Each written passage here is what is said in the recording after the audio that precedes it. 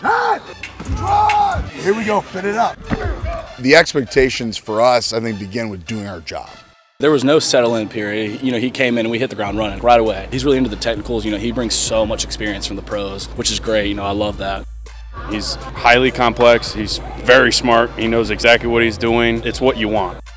He puts a lot of emphasis on fundamentals. Every day we're doing the, the same simple fundamental stuff because everything starts with the fundamentals.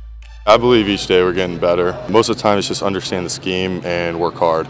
And if you do those two things, then a lot of good stuff will happen.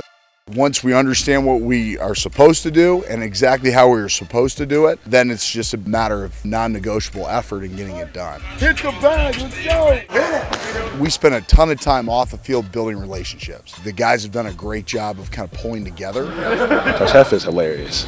He says some crazy stuff during our meetings. Like he'll have us cracking. Let's go rock, paper, scissors competition. He's real into the meetings. You know, you got to be locked in. You got to be there. But I mean, there's a lot of jokes. Everybody's laughing. It's a good time. It's serious, but it's not. You know, you're not holding your breath the whole time, which is great. It keeps you wanting to stay in tune. It's not. He's not monotone. He's not. He's always asking questions, What does flying mean, Charlie? which really keeps guys alert. And it's not a guy just going, all right, you know, Bam. All right, bam. good play here, good play here. He has a switch that like he can flip so fast. Like he'll be enjoying himself, but he goes straight into coach mode.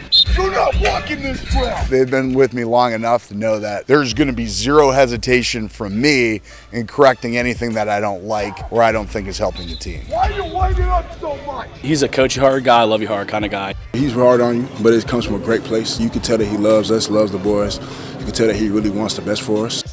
It's out of love. He's never going to yell at anybody because he doesn't like you. He's yelling at you because he wants you to get better. Elbows tight. Knowing that we have somebody that cares for us that much, not only as players but as human beings, makes us play even harder. God, my game ground.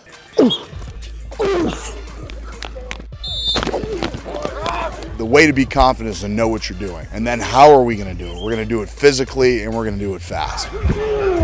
A lot of guys, we're putting a lot of good stuff on tape all around, all five. It's not, you know, one guy showing out. It's all five guys doing really great stuff, even the young guys. I have to know these guys. They have to have a great relationship with me because I want to coach them really, really hard. You have to know that I want what's best for you. And how I'm going to help you get there might be with some loud volume and some harsh words.